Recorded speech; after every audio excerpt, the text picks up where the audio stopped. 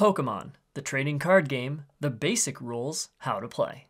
The object of the game is to be the first player to either take all your prize cards, knock out all of your opponent's Pokemon, or to not run out of cards in your deck before your opponent.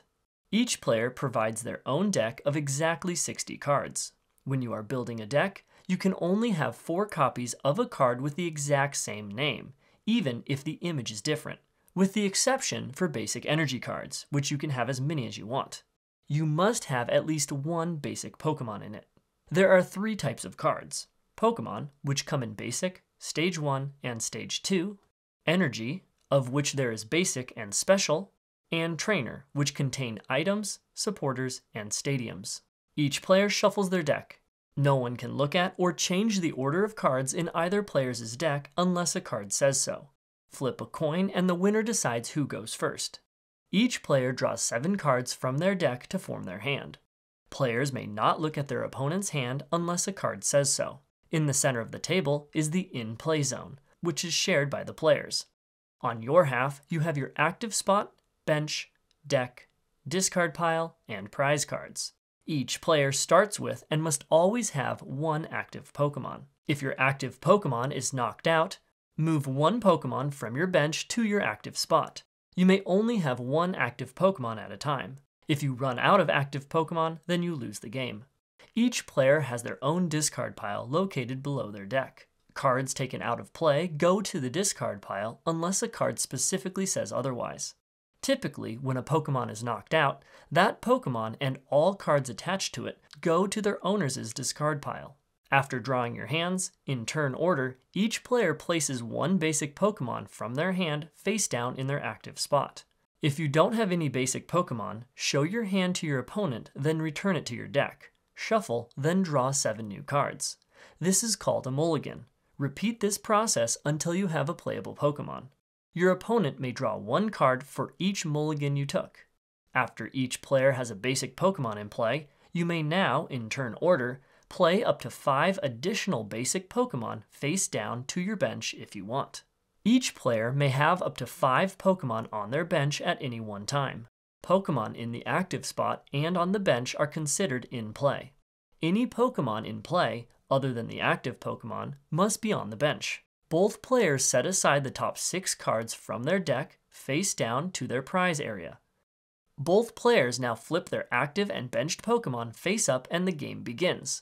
On your turn, you must first draw one card. If your deck is empty and you are unable to draw, then you lose the game. After you draw, you can perform any of the following actions any number of times unless otherwise stated, in any order. Play a Pokemon. Put a basic Pokemon from your hand face up on your bench. Evolve your Pokemon. If you have a Pokemon card in your hand that says evolves from, then the name of a Pokemon you already had in play since the beginning of your turn, then you may play that card from your hand on top of that Pokemon. This is called evolving. You may evolve a basic Pokemon to a stage 1 or a stage 1 to a stage 2.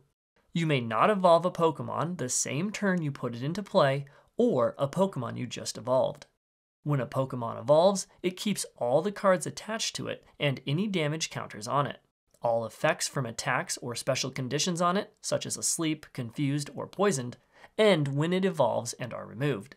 A Pokemon cannot use the attacks or abilities of its previous evolution unless a card says so. The player who goes first may not evolve Pokemon on their first turn. Attach Energy.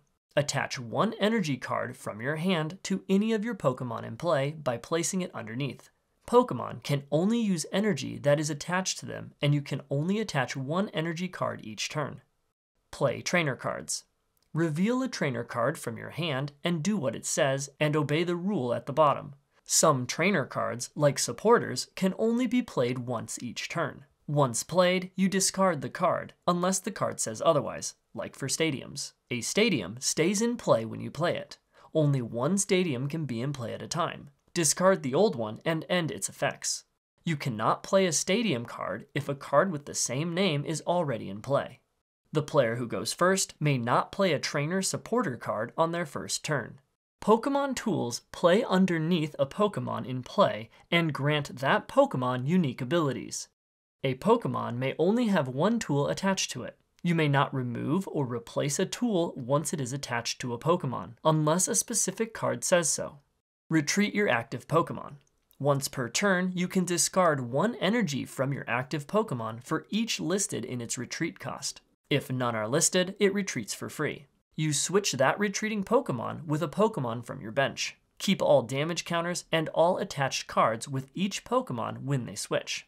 Pokemon that are asleep or paralyzed cannot retreat. When your active Pokemon goes to your bench, whether it retreated or got there some other way, special conditions and all effects from attacks are removed from it. If you retreat, you can still attack that turn with your new active Pokemon. If you don't have enough energy to retreat, then you may not retreat. Use abilities.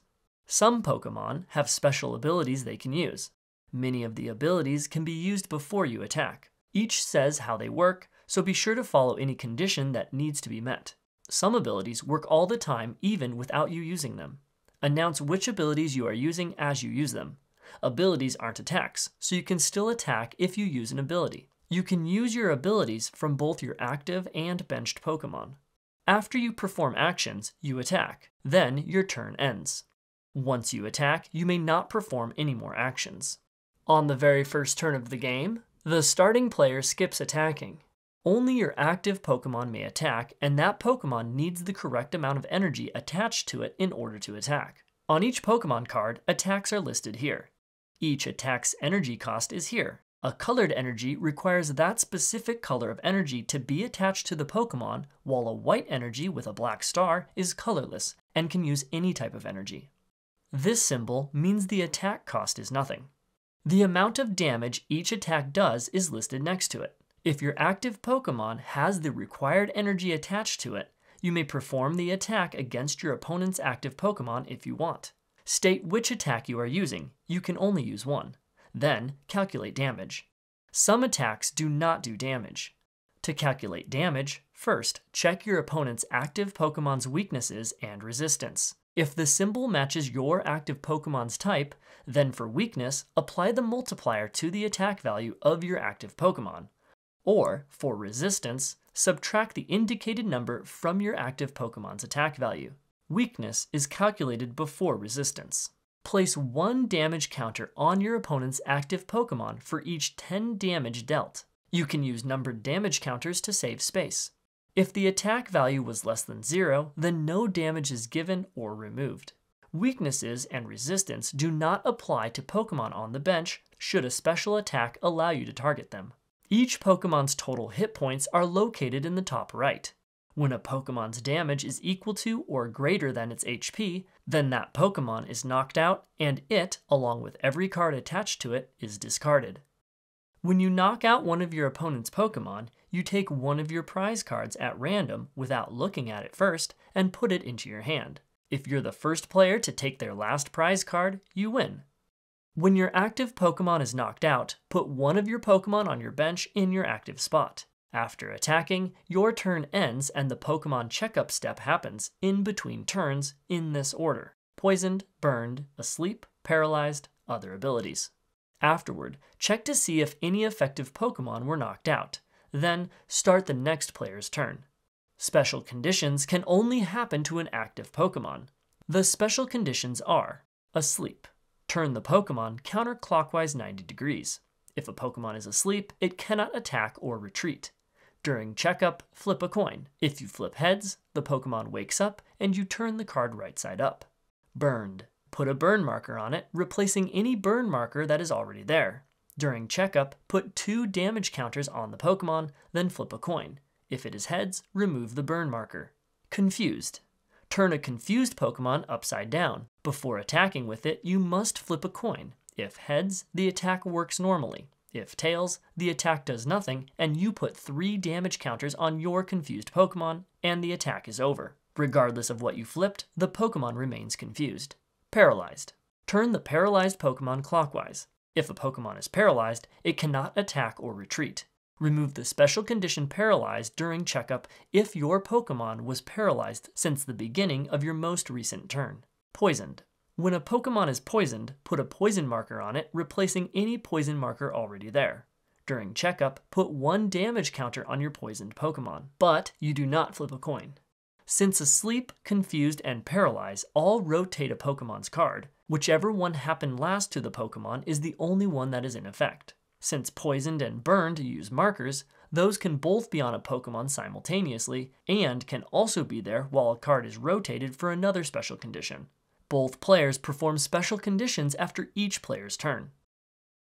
Check out my Advanced Rules playlist for more advanced rules from different generations of cards that have been introduced to the game over the years.